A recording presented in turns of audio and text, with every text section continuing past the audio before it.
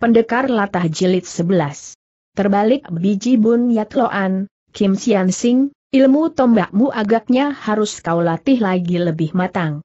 Seperti diketahui dulu Kim Chow Gak pernah tertusuk perutnya oleh N.Y.O. Chai Hian anak buah Dak Hui sampai isi perutnya dedel doel, ucapan Bun Yatloan justru tepat mengorek boroknya, keruan Kim Chow Gak berjingkrak gusar.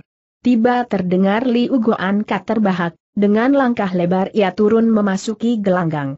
Sudah tentu hal ini malah kebetulan bagi Kim Chow Gak, maklum kedatangannya ini secara diam membawa tugas penting dari Raja Kim Wanyan Liang, untuk melaksanakan apa yang dibebankan di pundaknya, sekali jejak dan asal-usulnya pantang diketahui orang banyak. Tapi dari nada ucapan Bon Yat Hoan barusan, seolah dia sudah tahu sedikit asal-usul Kim Chow Gak, sudah tentu Kim Chow gak lebih ragu dan waspada. Bun Yat Lo ampun sedang membatin, masa Liu Goan Ka sengaja hendak bentrok denganku di hadapan umum?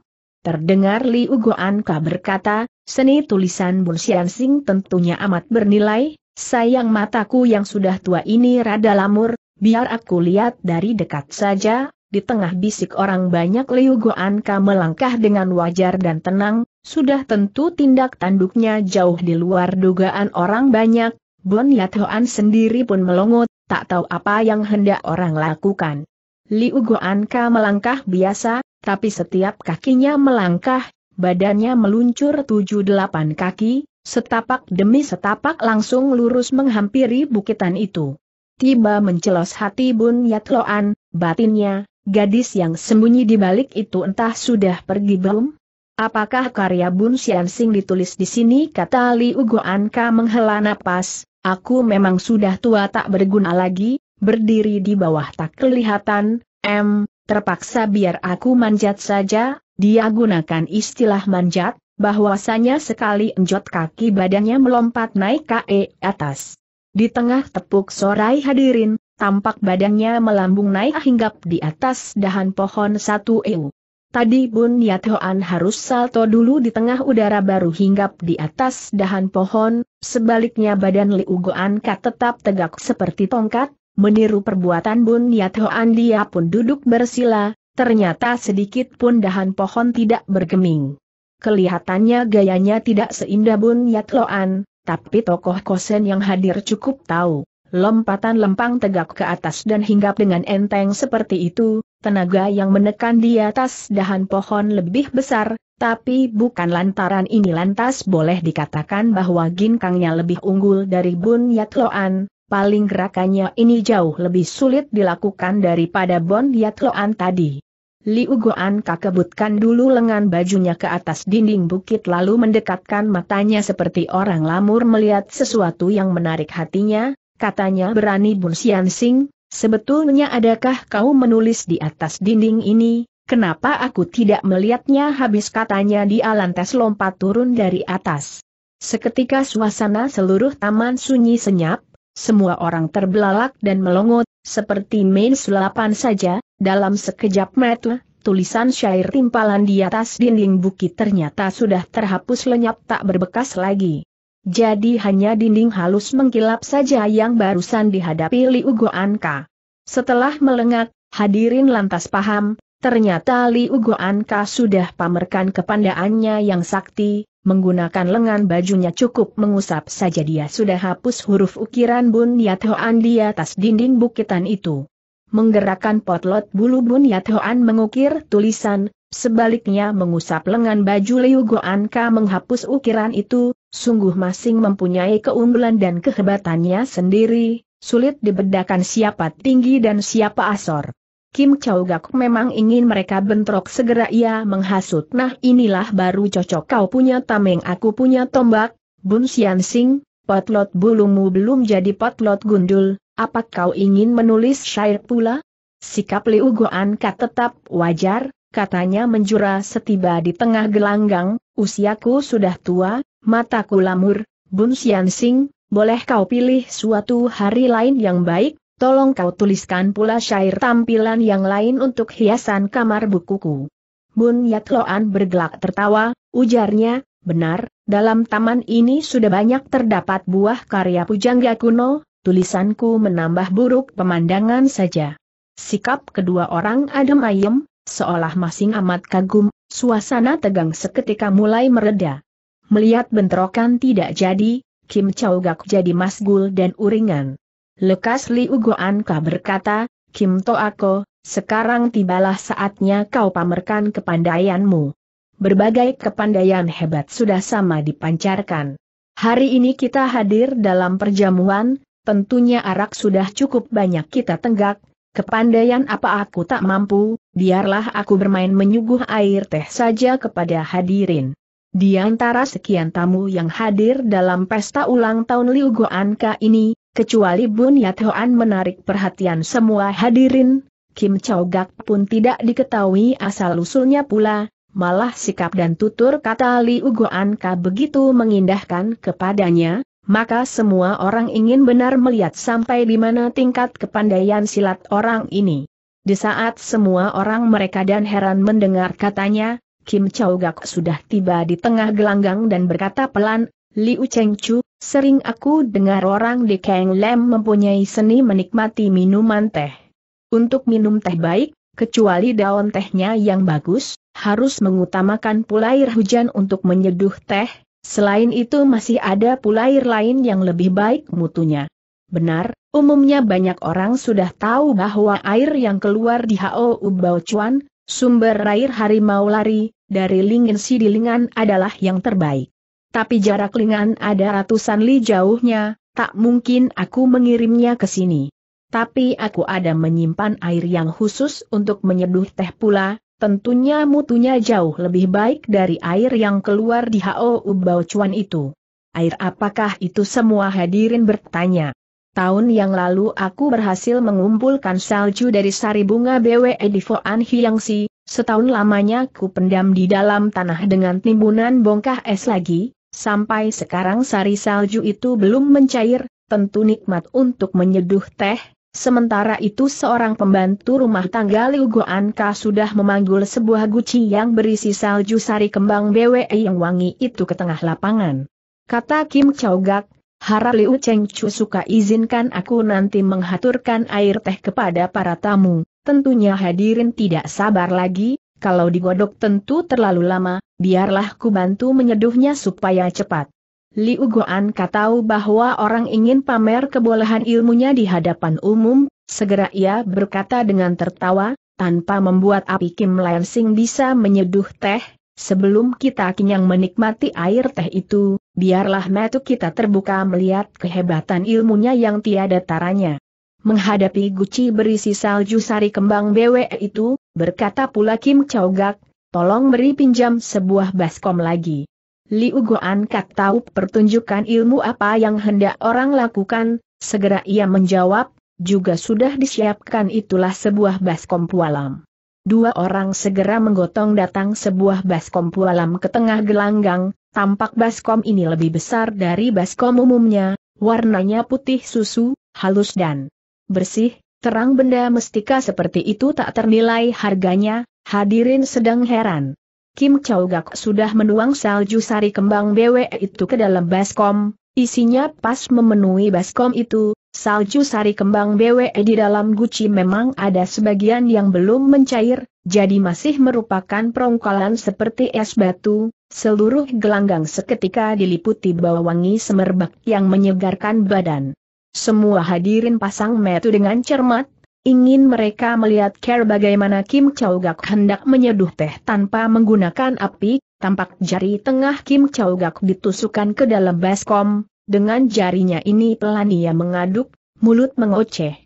Aduh, dingin, dingin sekali sekejap saja perongkolan salju dalam baskom itu sudah mencair, sebentar lagi mulai mengepulkan uap, dalam setengah sulutan dupa, sebaskom air dari salju sari kembang BW itu sudah mendidih, mengeluarkan suara gemerutuk. Kapan hadirin pernah melihat lewekang sakti seaneh ini, semua berdiri melongo dan terkesima, ada pula yang melelet lidah. Diam Bun Yathoan membatin, tua bangka ini memang terlalu pongah dan tak bernama kosong, tapi untuk mengalahkan aku tidak mudah, aku hendak mengalahkan dia juga sulit, biarlah aku menunggu pendekar Latah Kok Ham baru mencari daya untuk menghadapinya. Tak nyana bila Bun Yatloan tiada minat menempur dia, sebaliknya Kim Chow gak sengaja hendak cari gara kepadanya, Kim Chow gak menjemput sebuah cangkir pualam, lalu dicomotnya daun teh dimasukkan ke dalam cangkir, sementara jari tangan kiri mencomot pula di tengah udara kosong, seketika air mendidih itu menyembur keluar seperti seutas rantai masuk ke dalam cangkir, air merata melebihi permukaan cangkir, tapi air teh tidak menetes keluar. Dengan mengacungkan cangkir palam ini Kim Chow Gak berkata kepada Bun Yatloan, Bun Sian Sing Bun Bu Chuan Kai, aku orang Shikim kagum sekali, ni aku haturkan secangkir air teh kepadamu lebih dulu pelanjarinya menjentik, cangkir itu terbang ke arah Bun Yatloan, secara diam ia sudah kerahkan tenaga dalamnya yang tersembunyi bila siapa saja menyentuh cangkir itu, air teh panas di dalam cangkir seketika akan tumpah, sehingga orang itu dibuat malu di hadapan umum. Kedua tangan Bun Yat Hoan terselubung di dalam lengan bajunya, hakikatnya dia tidak sudi menerima cangkir ini, mulutnya malah menggumam, sayang, sayang, membuang seguci salju sari kembang BWE yang mahal ini, walaupun bukan air cuci kaki si ibu, air buat cuci tangan mana boleh diminum. Aneh benar, waktu cangkir itu terbang sampai di depan Bun Yat Loan, seakan dibendung oleh sepasang tangan yang tak kelihatan, Berhenti sebentar, mendadak berputar ke lain arah terus terbang ke samping. Ternyata secara diam Bun Yatloan meniupnya sekali, dia gunakan kepandaian pinjam tenaga memunahkan kekuatan dari tingkat tinggi, sehingga cangkir itu terbang ke arah lain. Seketika Kim Chow Gak berubah rona mukanya, baru saja dia hendak marah, tiba didengarnya Liu Goan Ka bergelak tertawa, katanya, aku ini seorang kasar, tidak perlu pilih barang bersih atau kotor segala, biarlah ku minum saja, dari kejauhan tangannya melambai cangkir itu lantas belok ke arahnya dan jatuh di atas telapak tangannya, air panas di dalam cangkir berubah seperti tongkat perak mumbul ke atas, lekas Liu Goan buka mulut menyedotnya sampai habis. Karena tuan rumah menempuh jalan tengah dan berusaha melerai, Kim Chow gak tak enak meneruskan tantangannya. Kepada Bon Yatloan, katanya dingin, Liu Ang, biar ku kembalikan salju sari kembang BWMU tadi, supaya Bun Xianxing tidak muring, lalu diangkatnya baskom pualam itu dengan kedua tangannya terus diangsurkan ke hadapan Liu Goanka, tampak air salju yang semula mendidih dalam sekejap mata sudah membeku seluruhnya. Kali ini dia menggunakan Siulo Imset Keng, dengan kekuatan hawa dinginnya, tidak sulit ia bikin air yang sudah mendidih karena kekuatan jari Lui sebelum masa hicinya tadi menjadi beku. Betapa hebat kekuatan Luekang berlawanan seperti ini, memang cukup menggetarkan nyali setiap hadirin, Bon Yatloan memang tidak perlu gentar, tapi hatinya rada kejut. Berkat pengalamannya yang luas ia cukup tahu akan kedua ilmu aneh ini, tapi tidak diketahui olehnya bahwa latihan Kim Chow Gak baru mencapai tingkat ketujuh saja, masih jauh dari kesempurnaan. Liu Goan tertawa, ujarnya, kalian adalah teman baikku, jangan lantaran urusan sekecil ini lantas bentroh, beruntung kalian sudi mempamerkan kepandaian masing, orang Shiliu harus membalas kehormatan yang besar ini, Lalu ia suruh orang membawa baskom salju itu ke dalam dan digodok serta menyeduh teh untuk disuguhkan kepada hadirin. Setelah itu baru pelan ia melangkah turun ke gelanggang, seketika seluruh hadirin menjadi tegang dan sunyi senyap, semua pasang mata tanpa berkedip. Memang setelah kelima tamunya satu persatu memperlihatkan kebolehan silat mereka masing, Kini giliran tuan rumah sendiri yang harus tampil juga untuk membalas penghormatan seluruh hadirin, sebagai tokoh puncak yang disegani di seluruh Kanglam, sudah tentu perbawa dan situasi jauh lebih mantap dan tegang, semua menahan napas dan pasang metu dengan seksama. Bahwasanya secara beruntun tadi Liu Goanka sudah tunjukkan dua macam kepandaiannya yang sakti, kini dia sendiri harus memperlihatkan kepandaian sejatinya, tentu akan ditunjukkan ilmu yang hebat dan menggetarkan sanubari setiap tamunya, maka dengan rasa tegang para tamu berbondong maju merubung ke pinggir gelanggang. Jauh di luar dugaan, tidak segera mainkan kepandaian silat sejati, Li Ugoan Ka malah merogoh keluar beberapa kartu undangan, dengan bergelak tawa menengadah ia berkata pelan, Pertama Lo Siu haturkan banyak terima kasih akan kehadiran para saudara yang sudi datang dalam pesta ulang tahunku yang ke-60 ini, maaf bila pelayanan kami kurang sempurna. Selama puluhan tahun banyak sekali teman yang tersebar di seluruh melosok dunia, sehingga mungkin ada yang tidak kebagian undangan, aku tahu ada beberapa kawan, kini sudah berada di dalam taman ini, cuma tidak mau unjuk muka di hadapanku, Mungkin karena kekuranganku yang kukatakan tadi, kalau tidak langsung ku undang mereka, mereka tidak sudi muncul. Biarlah sekarang Losiu tambal kesalahan ini dan mengirim undangan ini kepada mereka, ku harap peduli kawan yang sudah ku kenal atau belum, kalau toh sudah berada di sini, sukalah memberi sedikit muka kepadaku, marilah minum beberapa cangkir arak bersama. Baru sekarang hadirin sama kaget dan tahu bahwa ada orang secara diam telah sembunyi di dalam taman luas ini, malah bukan hanya satu dua orang saja.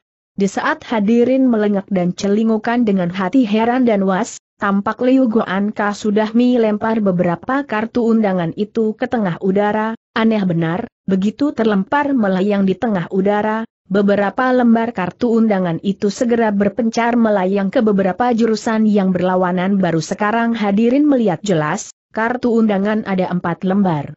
Kartu undangan bobotnya ringan dan jauh lebih enteng dan sukar dilempar dengan tekanan tenaga seperti cangkir arak, kini Liu Goanka melemparnya dengan cara menimpuk senjata rahasia, Jelas kepandaian seperti ini jauh lebih tinggi dan sukar tingkatannya dari melempar cangkir arak dalam jarak 100 langkah tadi. Salah satu dari kartu undangan itu meluncur ke arah tempat di mana Hong Lei Moli menyembunyikan diri, Hong Lei Moli sudah kertak gigi, batinnya. Kalau jejakku sudah kau ketahui, meski sarang harimau rawan naga juga akan kuobrak-abrik, baru saja ia hendak keluar dari balik bukitan, Tiba didengarnya gelak tawa yang kumandang panjang, seorang lain sudah melompat keluar lebih dulu. Gelak tawa ini bergelombang seperti suara pecahan gemreng yang bening dan menusuk sanubari sekonyong berubah laksana ribuan kuda berderap bersama, seperti ribuan tentara berlari menyongsong musuh, bergema di tengah lembah pegunungan, melengking menembus langit, di tengah gelak tawa yang keras ini ia pat terasa nafsu membunuh yang tebal, menyedot sukma menggetarkan hati. Hadirin yang rendah lekangnya lekas menutup kedua kuping karena serasa kuping ditusuk jarum, yang tak tahan sampai menjerit dan jatuh pingsan, sembilan di antara sepuluh orang semua sama menutup kuping sambil membungkuk badan. Dalam sekejap itu, bergetar juga hati Hong Lei Moli, bukan terpengaruh oleh gelak tawa orang ini, adalah karena orang yang muncul dan bertindak lebih dulu ini bukan lain adalah Xiao Go Kan Kun pendekar Latah Hoa Kok Ham. Entah Hoa Kok Ham menerjang keluar dari arah mana, tahu kelihatan bayangan tubuhnya menjulang di tengah angkasa, jubah putih melambai, tangan menggoyang kipas. Seperti naik mega menyetir angin, melayang turun seperti malaikat dewata seketika terjadi pula suatu keanehan, kartu undangan yang timpuk Liu Goanka sebenarnya sudah berpencar ke empat jurusan, kini tiba dari empat jurusan itu melayang balik ke arah Hoa Kok Ham, sekali melambaikan tangan, empat kartu undangan itu bertumpuk lalu jatuh ke atas telapak tangan Hoa Kok Ham. Luncuran tubuhnya amat cepat, tapi belum lagi kakinya menyentuh tanah, keempat kartu undangan itu sudah berada di tangannya, setelah kakinya tancap di tanah, baru hadirin melihat tegas dirinya.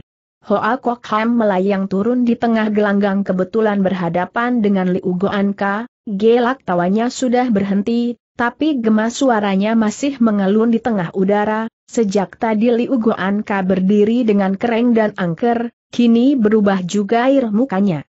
Maklumlah begitu muncul sekaligus Hoa Kok Hem sudah pamer dua macam ilmu sakti yang tiada taranya, gelak tawa menyedot sukma, di tengah udara memungut kartu undangan, gelak tawanya sekaligus menunjukkan lekangnya yang hebat, Mau tak mau Liu Goanka merasa kagum, lebih hebat lagi cukup melambaikan tangan saja, empat kartu undangan yang disebar Liu Goanka kena dipungutnya bersama, secara tidak langsung Liu Goanka sudah kalah satu jurus.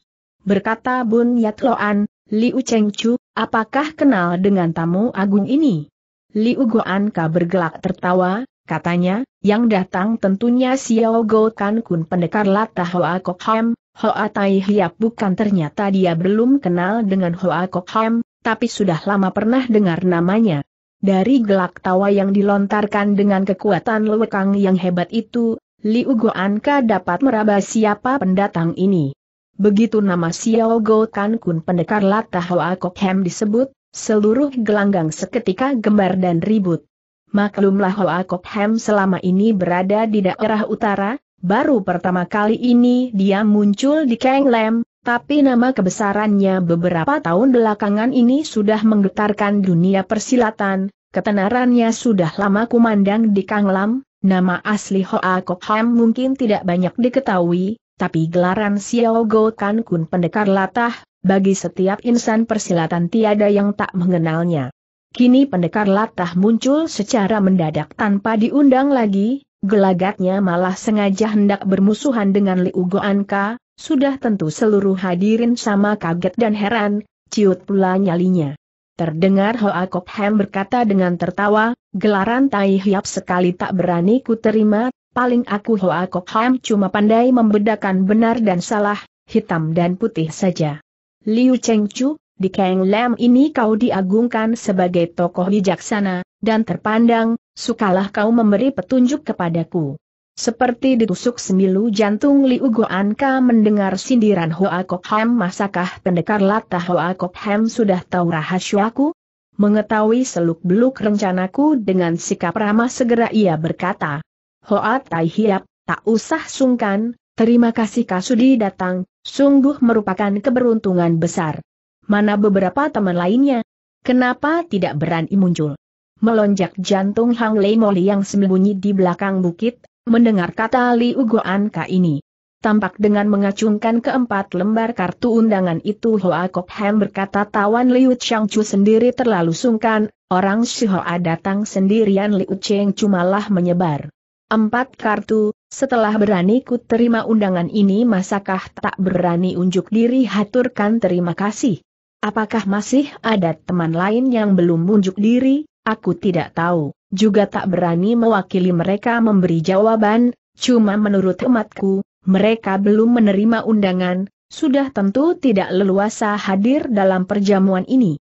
Kenapa Liu Cheng Chu tidak sebar undangan mendesak mereka datang? Merah muka Liu Goanka, katanya dingin, kunjungan Hoa Tai Hiap sudah cukup membanggakan diriku, tidak perlu tunggu lain tamu lagi, mari kita berkenalan lebih dulu. Terima kasih akan kunjunganmu ini, sembari bicara ia ulur tangannya ajak berjabatan tangan dengan Hoa Kok Ham. Dengan kekalahan sejurus tadi, dengan kedudukan Liu Goanka, kalau dia keluarkan pula kartu undangan, sudah tentu kehilangan muka.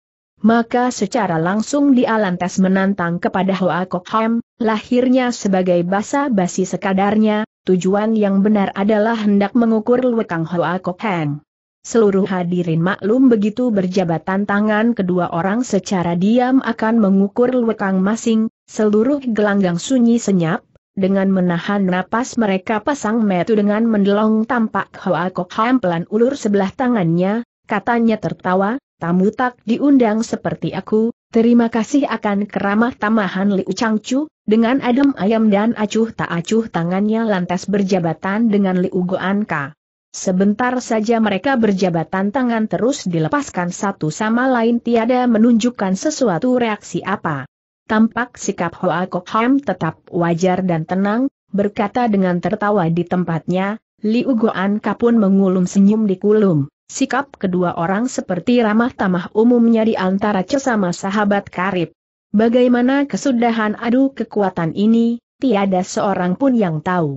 Ternyata dalam jabatan tangan barusan, Liu Goanka sudah kerahkan Tai Seng Pan Yok Chiang Lat yang ganas dan keras, tenaga kekuatan tapak tangan ini khusus untuk melukai Ki Keng Pat Mah di badan lawannya, Tapi begitu kekuatan ia salurkan, tenaganya seperti tenggelam di lautan tanpa bekas, bukan saja tidak mendapat perlawanan, malah tenaga Ritu Ion sendiri pun tiada, ibu jarinya sudah menjungkit naik mengincar Yatu di pengelangan tangan Hoa Kok Ham, Lapatia dapat rasakan denyut nadi Hoa Kok Ham yang normal dan biasa, sedikit pun tidak menunjukkan tanda ganjil.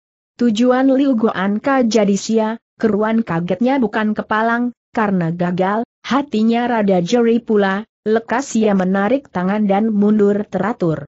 Sebaliknya Hoa Kok Hem diam bersorak girang dan bersyukur, ternyata dengan kekuatan KHI Kang tingkat tinggi aliran lewekeh untuk melindungi isi hatinya, berbareng kerahkan kepandaian ilmu pinjam tenaga memunahkan tenaga tingkat tinggi, dalam berjabatan tangan barusan, tak urung jantungnya berdetak lebih cepat dan dada pun mual serasa ditindih batu besar. Maka untuk menghilangkan rasa mual dan sesak di dadanya ini Hoa Kok Ham pinjam suara tawanya tadi, cuma Liu Goan tidak tahu. Ia kira orang lebih unggul di atas angin, sikapnya sengaja pongah terhadap dirinya, jadi Liu Goan beranggapan dirinya kalah seurat, demikian pula Hoa Kok Ham merasa dirinya sedikit dirugikan bahwasanya adu kekuatan secara diam ini kedua pihak setingkat dan setanding. Betapa sulit untuk mengundang Hoa Tai Hiap, silakan duduk minum arak, kami bisa ikat persahabatan. Lahirnya Liu Goan Ka bersikap ramah tamah, bahwasanya dalam hati ia sedang merancang mencari akal, care bagaimana untuk menghadapi Hoa Kok Hem. Mendengar katanya ini, orang yang duduk di meja sebelah atas bagi para tamu terhormat segera melowongkan tempat dan beramai menyilakan duduk. Mendengar Liu Goanka mengundangnya duduk di kursi tingkat atas, mendadak Hoa Kok Hem bergelak tawa, Liu Goanka mengerut kening, katanya, apa Hoa Tai Hiap tidak sudi bersahabat dengan Lo Siu? Bicara terus terang aku tidak ingin duduk di angka tinggi, pertama aku tidak berani, kedua memang aku tidak sudi. Tapi bukan tidak sudi lantaran undangan Liu Chengchu, dalam hal ini masih ada soal lainnya. Apakah maksudnya, harap Hoa Tai Hiap suka menjelaskan tanya Liu Goan. Aku ini rakyat jelata, mana berani duduk di tingkat atas? Bertaut alis Liu Goan belum lagi ia bicara Bon Yat Hoan sudah menimbrung di sebelah sana, Hoa Tai Hiap, omoganmu ini harus dihukum minum, setiap kawan yang hadir dalam perjamuan ini boleh dikata adalah orang gagah dari berbagai pelosok, Siapa yang punya jabatan atau pangkat dalam pemerintahan? Liu Chengchu juga bukan orang yang suka menggunakan kekuatan menindas orang, memangnya harus orang yang punya jabatan baru boleh duduk di tingkat atas? Bun Xian Sing, ujar Hoa Kok Ham, ucapanmu memang masuk akal, tapi kau malah yang menyinggung perasaan orang. Menyinggung perasaan orang?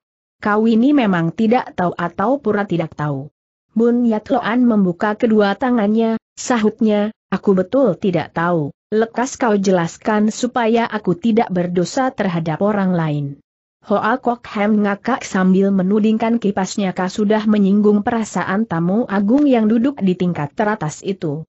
Seketika Liu Goanka menarik muka, Kim Chow Gak pun mendelik dengan alis berkerut, apaan maksudmu ini bentaknya. Dengan laku dan gerak-gerik yang aneh Bon Yat Loan mengamati Kim Chow Gak, serunya sambil menepuk paha, wah, celaka, maksudmu aku menyinggung perasaan Kim Lo Sian Sing ucapanku yang mana menyinggung perasaannya? Tahukah kau tamu agung yang duduk di kursi teratas ini dari mana dan apa asal-usulnya? Aku tidak tahu sebetulnya Bun Yat Hoan sudah tahu, cuma sengaja ia bermain sandiwara dengan Hoa Kok Heng. Memang kau dan aku adalah rakyat jelata, tapi tamu agung ini adalah Koksu, imam negara, dari negeri Kim. Bun Yat Loan menjerit kaget, tersipu ia menjura kepada Kim Chow dengan memelengkan kepala, jadi kau ini adalah Koksu dari negeri Kim? Wah, kalau begitu tadi aku berlaku kurang hormat. Kuatir dengan Carol menjura ini Bun Yat Loan tiba menyerang dengan sembunyi, lekas Kim Chow menyingkir ke samping, di luar taunya bahwa Bun Yat Loan memang sengaja membadut saja untuk menarik perhatian seluruh hadirin.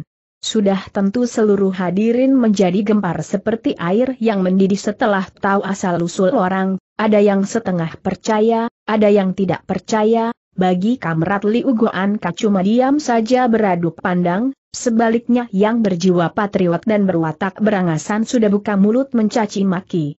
Berubah hebat rona muka Kim Gak, bentaknya, tutup mulut, bohong. Hoa Kok Ham goyang kipas, katanya dingin, masa kau bukan koksu negeri Kim? Atau kau anggap kedudukanmu sebagai koksu negeri Kim memalukan atau merendahkan derajatmu? Kalau tidak kenapa aku tidak boleh bicara lalu ia berputar menghadapi Liu Goanka, katanya, Liu Chengchu, tentunya kau sudah maklum akan kataku tidak berani dan tidak sudi tadi, aku ini rakyat jelata, tidak berani duduk berdampingan dengan koksu, tapi aku ini rakyat Song Raya kita nan sejati, tidak sudi aku duduk berjajar dengan kocu dari negeri musuh. Kata tegas yang sekaligus menelanjangi borok orang, seketika mendapat sambutan tepuk sorak yang ramai. Liu Goanka bersikap keren dan membesi kulit mukanya, katanya, hari ini adalah ulang tahunku, kawan sama memberi selamat kepadaku, di sini hanya membicarakan urusan pribadi, tidak mempersoalkan urusan negara, kau tuding Kim Lo Sian Sing sebagai koksu segala, benar atau tidak aku tidak tahu. Tapi di sini Jian Liut Chang, aku sebagai tuan rumah, kepada siapa aku suka mengundang tamu untuk duduk di tempat terhormat adalah aku? Kau tidak memberi muka kepada tamuku, berarti menghinaku pula, bagus, Xiao Go Kan Kun, ingin aku mohon petunjuk kepadamu. Hoa Kok Ham mandah mengibas kipasnya, katanya tersenyum, Liu Chengeu sudi memberi petunjuk, sungguh besar rezekiku. Kalau begitu silakan maju bersama dengan Koksu Negeri Kim yang bergelar Kim Lian Loko Ai ini.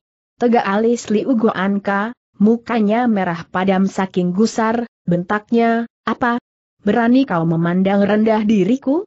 Hoa Kok Ham tetap berlaku tenang, katanya tawar, tidak berani, Soalnya kalau Liu Cheng cuma mau bicara soal hubungan pribadi, sebaliknya aku harus membedakan tegas antara teman dan musuh, aku bersumpah takkan berdiri jajar bersama musuh, sesat takkan langgeng dengan lurus, betapapun aku takkan mengeyampingkan Koksu Negeri Kim ini, kalau kau merasa menyolok pandangan, terpaksa majulah bersama saja katanya cukup jelas bahwa terutama dia menantang Kim Lian Lokoi Terserah Liu Goanka berpeluk tangan menonton saja atau mau ikut terjun ke tengah gelanggang. Sekali dia pantang menempur Liu Goanka lebih dulu membiarkan Kim Lian Loko Ai melarikan diri. Betapa pedas dan menyulitkan sekali kata Hoa Kok Ham ini sehingga Liu Goanka disudutkan ke posisi yang serba salah, maklumlah secara diam Liu Goanka memang ada intrik dengan Kim Lian Lon Ko Ai, tapi rahasia mereka sekali pantang diketahui orang luar, maka selama ini dia tetap merahasiakan asal-usul Kim Chow-gat. Tantangan Hoa Kot Ham cukup tandas, bila Li Ugo Anka membantu Kim Chow-gat, secara langsung menunjukkan bekang sendiri yang berdiri di pihak musuh apalagi dengan tingkat kedudukan Li Ugo Anka sekarang, sekali dia takkan sudi maju berduaan mengeroyok Hoa Kok Ham. Di antara sekian banyak tamu persilatan yang hadir kebanyakan sama segan dan tunduk kepada Liu Goanka, tapi tidak sedikit pula di antara mereka adalah pahlawan bangsa yang berjiwa patriot dan perkasa, mendengar kata Hoa Kok Ham yang tegas, gagah dan berwibawa, seketika mereka bertepuk bersorak memberi dukungan, sebaliknya kaki tangan Liu pun tak mau kalah suara, mereka balas mengejek dan mencemooh, Akhirnya terjadilah perang mulut yang ramai. Di saat keadaan bakal berlarut semakin kacau, Bon Yatloan tiba tampil ke depan, katanya mengadang di depan Liu Goanka, Liu harap berpikirlah lebih cermat sebelum bertindak. Apanya yang perlu kupikir lagi jengek Liu Goanka? Sekaligus kau menyebar empat kartu undangan, maka kau harus berpikir lagi dua belas kali, memang Kim Lo Sian Sing ini tamu agung yang kau undang, tapi Hoa Tai Hiap ini pun kau sendiri yang mengundangnya pula, malah sekaligus empat kartu undangan, bukankah dia pun menjadi tamu luar biasa pula? Memang Liu Goan kah hendak memperkecil persoalan menjadi urusan pribadinya, Sebaliknya Bun Yatloan khawatir Hoa Kok Hem dirugikan, maka kata ini justru cocok dengan keinginan hatinya, sehingga persoalan gampang diselesaikan dengan kata, tapi kata empat kartu undangan tadi cukup menusuk perasaan Liu Goanka juga. Sudah tentu Kim Chow Gak ingin berpeluk tangan menonton Liu Goanka Yatik tampil ke depan menghadapi Hoa Kok Hom, tapi orang justru menantang dirinya, yakin bahwa kedua ilmu saktinya belum tentu kalah menghadapi Hoa Kok Ham akhirnya dialdekat, kebetulan Hoa Kok Ham sudah menghampiri ke depannya sambil melebarkan kipasnya, katanya dingin. Di sini adalah negeri Song Raya, kau tak diizinkan berada di sini, kalau kau tidak berani terima tantanganku lekas mencawat ekor pulanglah ke negeri asalmu. Memangnya siapa yang gentar terhadap kau damprat Kim Chow Gak gusar, Wood malah dia mendahului memukul. Begitu tenaga dikerahkan, angin panas segera menderu bergolak keempat penjuru, para tamu yang duduk dekat seketika merasa kulit badannya seperti dibakar, di tengah jerit kaget mereka sama menyurut mundur sejauhnya, sebaliknya. Hoa Kok Ham bergeming dari tempatnya pun tidak, kipasnya cuma dikebaskan seenaknya, Segulung angin panas malah meniup balik ke arah muka Kim Gak. Di antara damparan angin panas ini, sepoi menghembus pula angin dingin nyaman yang membuat badannya segar dan ngantuk. Keruan Kim Gak kaget, batinnya, aneh benar luekang keparat ini membarengi dengan hardikan keras, telapak tangan kiri beruntun merangsak pula. Kali ini tenaga yang digunakan adalah kekuatan hawa dingin, seperti badai salju melandai, membuat hawa panas yang membakar kulit tadi seketika sirna dan semua hadirin bergidik kedinginan, sekejap saya para tamu yang duduk di pinggir gelanggang sudah menyingkir jauh, tinggal mereka yang luwekangnya rada tinggi tetap berada di tempat masing, tapi jarak mereka toh sekitar 3 sampai 5 tombak di luar gelanggang. Seperti diketahui kedua pukulan panas dingin yang dilancarkan Kim Chow Gak bernama In Yang Go Hing Chiang, merupakan perpaduan dari Louis Sin Chiang dan Siu Lo Im Sat Kaang, dua ilmu tingkat tinggi dari aliran sesat yang paling ganas dan keji, setelah latihan 30 tahun baru berhasil. Tadi pukulan tangan kanan dia gunakan Louis Sin Chiang, sedang tangan kiri melontarkan Siu Satu Oim Sat Kang. Berputar badan kembali kipas Hoa Kok Hem dikebaskan, segulung angin dingin kembali mendampar ke muka Kim Chow Gak, di antara angin dingin itu mengandung hawa panas yang hangat dan nyaman pula, membuat orang seperti dihembus angin musim seminan segar dan melumpuhkan semangat sehingga orang merasa ingin tidur. Sungguh kejut Kim Chow Gak bukan kepalang, Hoa Kok Ham cukup menggerakkan kipas, kedua kali kekuatan pukulan negatif dan positif dari tul balik, malah kedua kekuatan itu diputar balik untuk melawan satu sama yang lain, sekaligus balas menyerang kepada dirinya.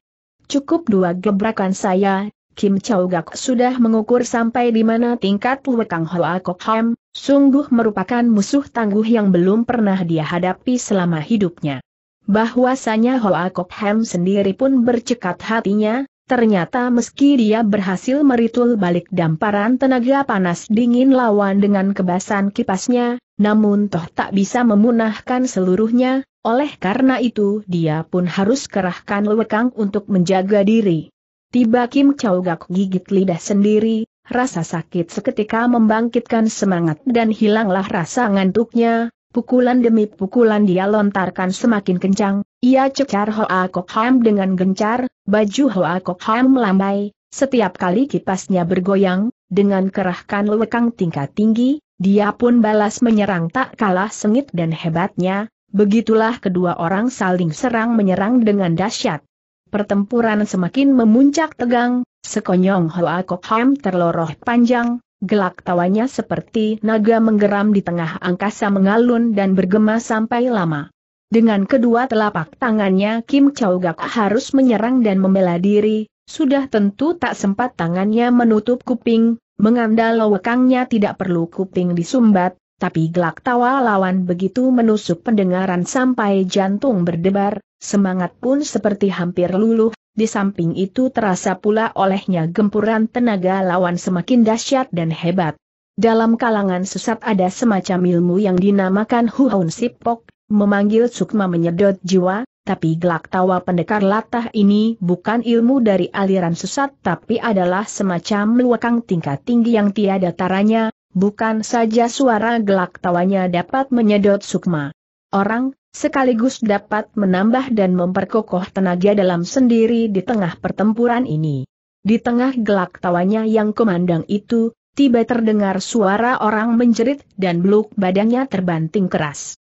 Orang yang terbanting jatuh ini adalah Lem San Hao Lam Kiong Chow yang menonton di pinggir gelanggang, ternyata Lem San Hao sebelumnya memang main sekongkol dengan Kim Chow Gak, di saat kedua orang sedang bertempur seru dan orang menonton terlalu asik, secara diam ia lontarkan pukulan gelap membokong, maksudnya hendak membantu Kim Chow Gak.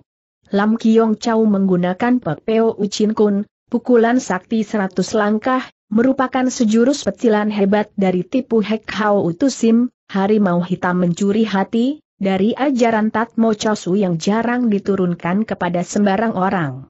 Kekuatan pukulan ini dapat dibayangkan dari demonstrasi Lam Kiong Chow tadi yang merobohkan dua pucuk pohon sekaligus di luar taunya meski sedang bertempur sengat tapi panca indera Hoa Kok Ham masih tetap tajam, begitu orang turun tangan, Siang dia sudah siaga, dasar kepandaiannya memang jauh lebih tinggi, maka dengan seenaknya saja ia ritul pukulan dahsyat orang.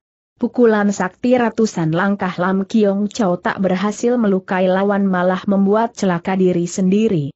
Dengan menyemburkan darah segar badannya terbanting roboh dengan luka parah dan kontan semaput. Liong Intaisu ternyata sekomplotan dengan Lam Kiong Chow, segera ia melompat keluar dan membentak gusar, Sontoloyo saudara Lam Kiong berpeluk tangan menonton di luar gelanggang, kenapa kau membokong dan melukai dia? Mendengar orang memutar balik persoalan untuk mencari alasan maju membantu, Bon Yatloan menjadi tak sabar lagi. Katanya dingin, Liong Intaisu, apa benar Lam Kiong Tocu berpeluk tangan menonton di luar gelanggang, masakah matamu tidak melihat jelas? Malu dan gusar Liong Intaisu dibuatnya, katanya sambil melangkah ke depan, kedua mataku ini belum buta, siapa turun tangan dulu memangnya aku tidak melihat jelas?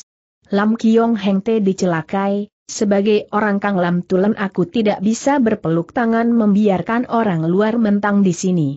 Hoa Kok Ham tertawa lebar, ujarnya, matamu tidak buta, tapi hatimu yang buta. Sudahlah, tak perlu cari alasan, ada kentut lekas lepaskan, kau punya kepandaian apa, hayolah maju sekalian. Saking malu Liong Intai sungguh gusar bukan main, begitu mendekat segera ia lontarkan pukulan kepada Hoa Kok Ham, setiap ganti pukulan lantas melompat menyingkir kedudukan lain, sehingga Hoa Kok Ham tidak bisa meritul balik kekuatan pukulannya untuk melukai dirinya sendiri. Karena itu, di hadapan Hoa Kok Ham harus hadapi rangsakan sengit Kim Chow Gak, di samping harus kerahkan tenaga sakti untuk menahan dan melawan pukulan Bu Xiang Chiang Lat Leong Intaisu, dalam waktu dekat, memang dia dibikin kerepotan dan kewalahan juga oleh sergapan Leong Intaisu. Tapi gerak-geriknya masih tetap lincah dan cekatan, baju melambai kipas bergoyang, seolah pukulan Bu Xiang sebelum masih Hikang Leong Intaisu tidak dipandangnya sebelah mata tapi bagi tokoh kelas tinggi yang hadir, seperti Liu Goanka, Bon Yat Hoan dan lain sama tahu, sebelum Liong Intaisu turun gelanggang Hoa Kok Ham memang lebih unggul, tapi sekarang dia cuma setanding melawan Kim Chow Gak. Kejut dan girang pula hati Hong Lei Moli yang mengintip dari balik bukitan. Kejut karena musuh terlalu banyak tenaga. Pihak sendiri terlalu minim, girang lantaran selama ini Hoa Kok Ham tetap unggul di atas angin.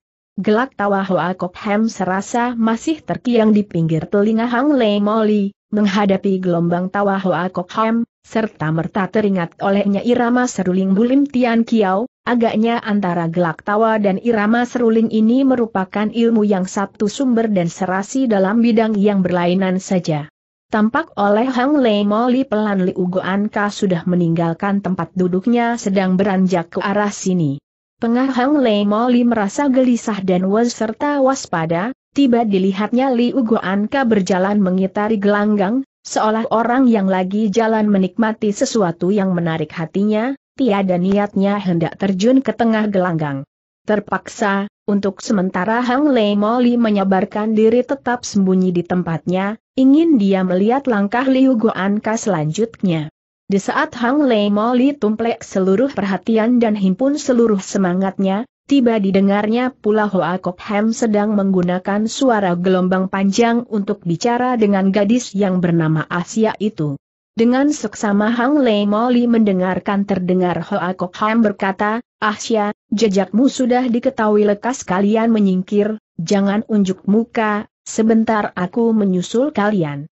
Hang Lei Moli kaget, batinnya, ternyata benar dugaanku, Asya pun berada di sini tapi dia hanya memperingat Asya, memangnya dia tidak tahu kehadiranku di sini tengah ia mereka, Tiba dilihatnya Li Ugoanka sudah berada di tengah antara dua jepitan bukitan, sambil menengadah ia bergelak tawa, serta serunya lantang. Beberapa kawan ini masakah tak sudi keluar? Biar Li Ugoanka paksa kalian keluar saja tiba kedua telapak tangan ia sulung ke depan, belang suatu ledakan bagai gunung meletus menggetarkan bumi mengejutkan langit, kedua bukitan palsu itu seketika gugur berantakan. Begitu kedua bukit yang berdampingan ini runtuh, tiga sosok bayangan berbareng melejit terbang, yang di sebelah kiri adalah Hong Lei Moli, yang di sebelah kanan adalah gadis baju hitam dan laki asing yang misterius itu. Begitu bukit runtuh, Liu Goan kasusuli lagi mengayun kedua tangan, dua belas Kim Cipiau sekaligus dia samlitkan kedua sasaran. Kontan terdengar laki asing itu menjerit sekali maka terdengarlah suara teng-ting yang riuh tak putus, di tengah bergelebatnya sinar perak, gadis baju hitam pukul rontok semua Kim Cipiao yang menyambar ke arah mereka, terdengar suara pertanyaannya, tidak apa bukan sebelah tangan menarik laki itu, seperti sepasang burung terbang meninggalkan hutan, mereka melambung tinggi melampaui bukitan di sekitarnya terus melejit naik ke pucuk pohon, sebentar saja sudah melewati pagar tembok. Bercekat juga hati Liu Goanka melihat kehebatan kedua orang ini. Apalagi di sebelah kiri hanya Hang Lei Moli seorang, dengan sendirinya dia lebih perhatikan dua orang yang ada di sebelah kanan, tanpa hiraukan Hang Lei Moli, segera Liu Goanka mengejar ke arah kanan.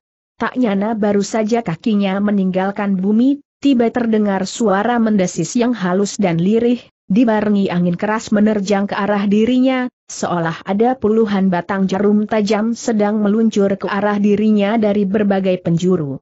Untung kepandaian mendengarkan angin membedakan senjata Li Ugowaka udah sempurna, suara mendesis yang lirik itu didengarnya cukup jelas, kembali mencelos hatinya. Batinnya, senjata gelap apakah ini, agaknya lebih lembut dari BWLA Ciam, tenaganya malah amat kuat. Lekas Liu Goan kaputar badan sambil mengebutkan lengan baju, segulung angin badai seketika menerpa ke depan, waktu ia tegasi, dilihatnya seorang gadis baju hitam pula sedang menukik di tengah udara sambil mengayun kebutan menyerang kepada dirinya. Ternyata dengan tenaganya Hang Lei Moli saimbitkan beberapa utas benang kebutnya untuk menyerang Liu Goan Ka. Sudah tentu keenam metu uang sambitan Li Ugoan tadi dengan mudah sudah dia pukul rontok seluruhnya. Walau Li Ugoan membekal kepandaian sakti tingkat tinggi, tak urung terkejut juga hatinya, merasa di luar dugaan pula, maklumlah Li Ugoan sudah cukup mampu melukai orang dengan petikan daun pohon, pikirnya dengan 12 Kim Cipiaunya ini, ia sudah cukup berkelebihan bikin ketiga orang ini terjungkal roboh. Tak nyana lawan yang satu ini jauh lebih tangguh dari yang lain, bukan saja merontokkan piaunya, malah orang balas menyerang kepada dirinya. Sudah tentu kejut Hang Lei Moli bukan main, kebutan lengan baju Liu Goan Ka bukan saja berhasil meritul balik benang kebutannya, malah damparan anginnya yang hebat memaksa dirinya harus jumpalitan di tengah udara, tapi sedikit pun ia tidak menjadi gentar, meminjam damparan angin keras itu, di tengah udara ia berputar ke arah jurusan lain, sekaligus meluputkan diri dari pukulan susulan yang dilontarkan Li Ugianka. Cepat sekali dengan gaya burung dara menukik jumpalitan kebut di tangan kiri dan pedang di tangan kanan, ia labrak Liu Goanka dengan serangan balasan yang membadai. di mana Liu Goanka kembangkan lengan bajunya, benang kebut seketika tersapu balik berpencaran terlebih dulu ia. Patahkan serangan ganas Tian Lohu Tim Hoat Hang Lei Moli yang hebat ini, Hang Lei Moli sendiri sedang menukik turun sambil menusuk, Liu Goanka menekuk dengkul sehingga badannya tertekan turun, berbareng membentak. Kena tiba pukulannya dilontarkan pula, lekas Hang Lei Moli tarik balik tabasan pedang, meski cukup cepat gerakannya, tak urung tangannya tersentuh sedikit oleh ujung jari orang, rasanya sakit pedas. Keruan Hang Lei Moli naik pitam, cengkong kiam ia surung ke depan, ujung pedangnya bergetar, maju mundur tak menentu, dalam jurus tersembunyi tipu hebat, dalam tipu mengandung variasi lagi, beruntun bisa bergerak dengan perubahan yang susul menyusul dan sukar diraba. Keadaan Hong Lei Moli sekarang bagai dahan pohon yang terhembus angin kencang bergoyang gontai melambai. Liu Goan kakira orang tergetar luka oleh tenaga pukulannya tadi, sedikit pandang enteng lawan, segera ia ulur lengannya hendak merebut pedang orang, di luar tahunya, gerakan gemelai seperti orang mabuk dari Hang Lei Moli justru dikombinasikan dengan tipu pedangnya yang paling ampuh, sekonyong ia pun balas menghardik. Kena begitu Liu Goanka menyadari gelagat jelek, lekas ia turunkan pundaknya, tapi Hang Lei Moli sudah keburu merangsak lebih dulu, seret pedang orang menusuk ke arah di mana dirinya mundur. Kret jubah panjang Li Ugoan Kat tertusuk berlubang oleh ujung pedangnya, sobek kira sebesar telapak tangan, waktu Hang Lei Moli angkat pedang menusuk lagi, Li Ugoan Kat tiba membentak keras, sebelah tangannya bergerak membalik, angin pukulan menerpa dengan dahsyat, Tusukan pedang Hang Lei Moli sampai tergetar menceng ke samping, tahu dirinya takkan kuat menandingi musuh, tiba badannya. Melambung tinggi, bagai burung raksasa, badannya terbang naik ke pucuk bukitan. Beberapa jurus gebrakan ini berlangsung secepat percikan api, hebat dan menakjubkan, tapi juga menggetarkan nyali setiap penonton. Hang Lei Moli kena kesambar jari Liu Gao Anka, Sebaliknya jubah Liu Goanka juga tertusuk sobek oleh pedang Hang Lei Moli, kalau dibanding, tentu kerugian Hang Lei Moli lebih besar. Tapi sebagai tokoh yang diagulkan sebagai orang kosen lihai di Kang Lam, di hadapan sekian banyak orang, bajunya kena dilobangi oleh seorang gadis belia, sudah tentu malu Liu Goanka bukan main.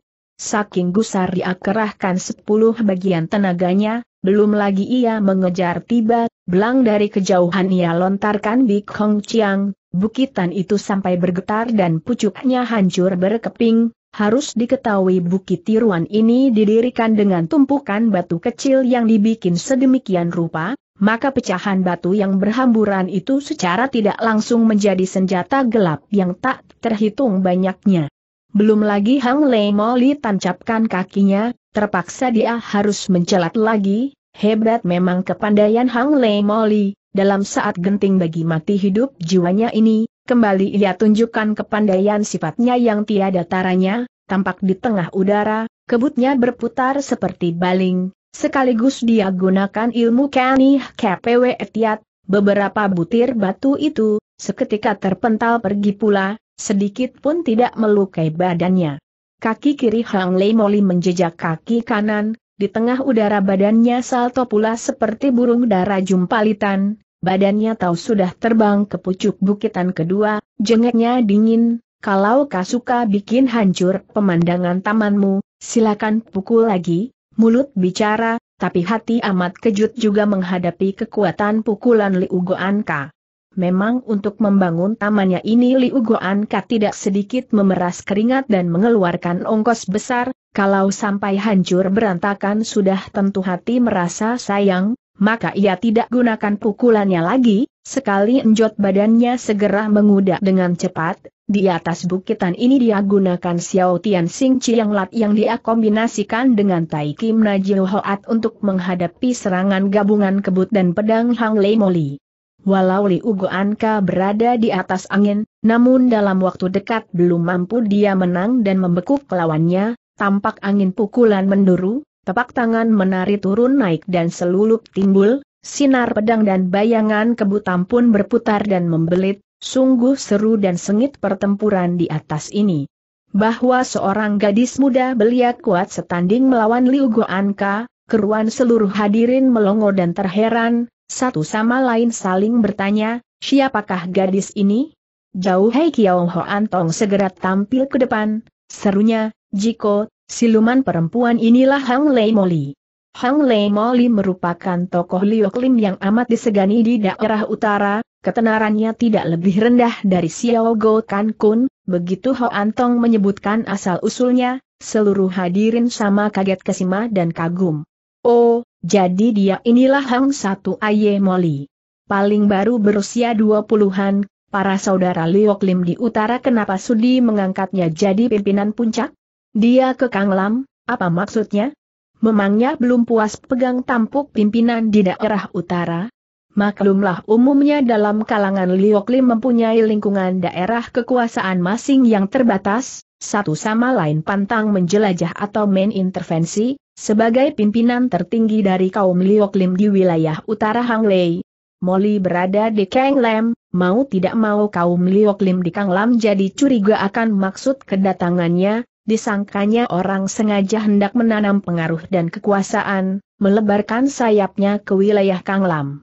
Sebetulnya Hang Lei Moli cukup paham soal tata tertib dan undang ini, tujuannya semula setelah menyelesaikan urusan yang menyangkut kepentingan nusa dan bangsa, baru dia akan kirim kartu nama menyambangi beberapa tokoh Liok Lim yang kenamaan di sini, sungguh tak nyana, keadaan memaksa dirinya harus bergebrak melawan tokoh kosen dari kalangan Liok Lim di Kang Lam, sudah tentu tindak tanduknya menimbulkan curiga dan sirik kaum persilatan di sini.